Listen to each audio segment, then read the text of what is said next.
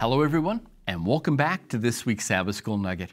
Before we begin Sabbath's lesson, would you please take a moment to hit those like and share buttons?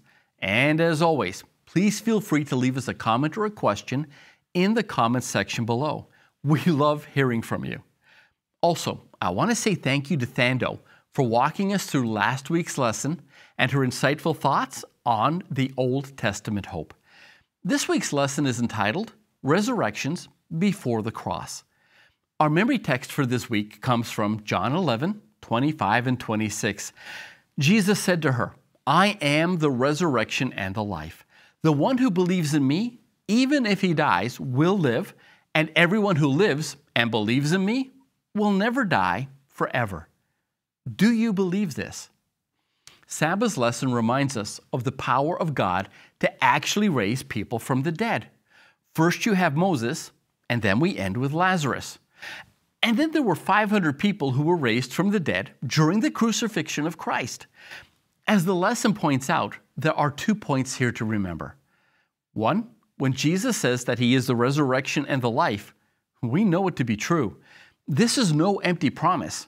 Surely, if God can raise others from the dead, then we know that He can raise us from the dead as well. Secondly, in none of the accounts of people being raised from the dead is there any mention of an afterlife. Imagine the complaints that should have taken place. Follow me here. If these people had died and gone to heaven, and then all of a sudden they were pulled back to this sin filled planet, don't you think that at least one of them would have asked, why did you bring me back? Think of the 500 who, for many, may have been in heaven for hundreds of years. Who, I mean, would you want to come back to earth after being in heaven for hundreds of years? And not yet one complaint. Uh, the fact that they all were happy to be back tells us that there was no afterlife in the grave. They had been dead and gone. Sunday's lesson brings us to the resurrection of Moses.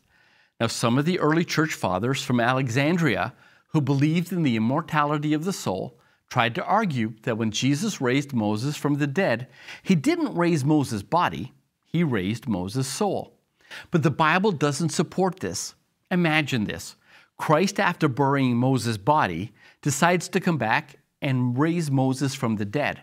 And Satan is there, and he is horrified at this display of Christ's power. He knows that if Jesus can raise Moses from the dead, then Jesus can raise anybody from the dead, and now the followers of God have a powerful basis for their faith and their hope. Satan tries to stop Jesus, claiming that because of Moses' sin, he belongs in the grave.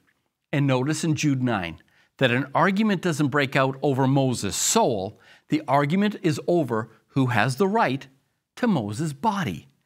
And as the lesson points out, when Moses and Elijah meet with Christ on the Mount of Transfiguration, Elijah was not there in spirit form because Elijah had never died. Moses is proof positive that Christ would gain the victory over sin and death, and as such, would gain the victory over sin and death for us all. We all have a way out of the grave. Thank you for joining us. I'll see you tomorrow.